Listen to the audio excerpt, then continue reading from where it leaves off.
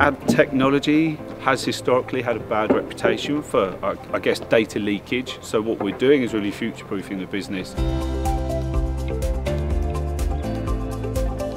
Bauer's got a fantastic data team there. We've got a really big data team and they are kind of on board as part of this journey. So when we decided to onboard the technology, it was kind of a, a cross-department decision and we kind of brought in people from the commercial team, the data team, the operational team, um, and it's, it's really gained a lot of traction internally.